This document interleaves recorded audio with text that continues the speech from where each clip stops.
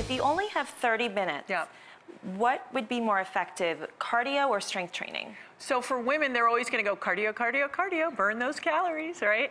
Um, but the thing is, is if you do some resistance training, you build muscles that burn calories long after you stop doing the activity. So when you do cardio, you burn for that amount of time. If you build muscle that burns all the time.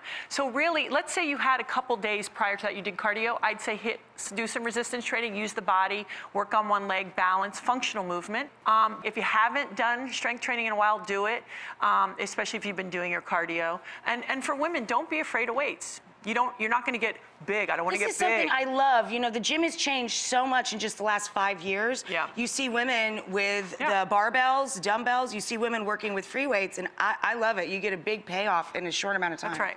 I mean, and it, and it helps fight gravity, um, you know, bone density, things like that. Bone density, it's so important, Yeah. especially for women. Well, that's it. so That's you- it. as- it- they think as we age, especially for women, we shouldn't do high impact. We absolutely should.